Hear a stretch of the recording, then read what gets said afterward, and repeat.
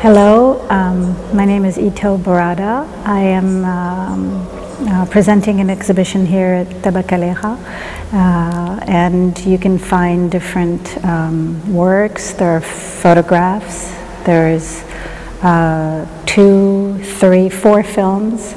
Um, there are posters. There are palm trees. Um, there are plumbers, sculptures, assemblage. There's also textiles. There's a carpet. There's uh, prints, uh, screen prints, and offset prints.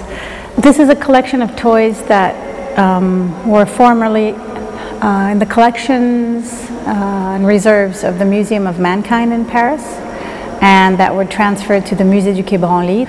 And these collections are from North Africa. They were ethnographic collections.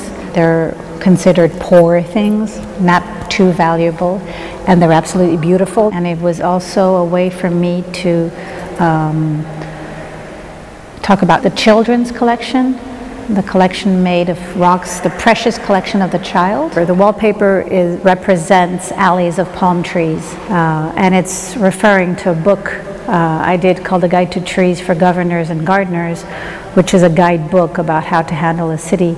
Uh, it's, a, it's a mock guide, uh, explains to the governor that if he puts enough palm trees on the way of the motorcade, of the official visitor's motorcade, you have a chance to have him put to sleep, and that would be a successful uh, visit. So there's a lot of play and games um, around the idea of power, questioning power, that have a connection with the rest of the pieces of the exhibition.